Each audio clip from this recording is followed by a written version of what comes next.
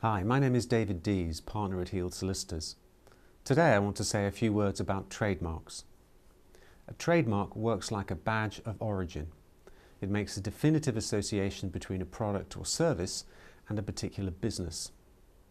A trademark needs to be distinctive in order to make it capable of registration.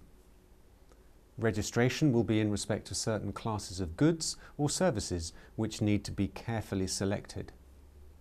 A registered trademark will therefore provide the owner with the exclusive right to use that mark in relation to particular goods or services in a particular place. Lawyers talk about a jurisdiction. When you are thinking of what trademark to create, try to go for something really distinctive. It is well known that made-up words, such as Kodak or Lego, are likely to be distinctive.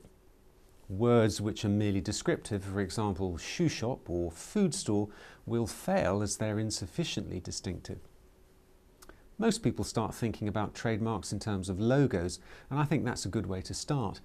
The beauty of a logo is that it's likely to combine a word, your business name for example, and a distinctive design. The combination will make the mark distinctive. There are two other points that I'll mention at this stage. Firstly, carry out a search. You can do a search yourself on the ipo.gov.uk website, but to be really sure, get expert help. Secondly, trademarks are specific to a territory or jurisdiction. You'll need to think about whether a UK specific registration is the way to go or whether you're thinking bigger for example across Europe or further afield. Cost, of course, will be a factor in this decision. This was a one minute briefing on trademarks.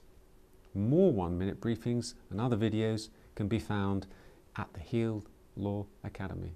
Thank you.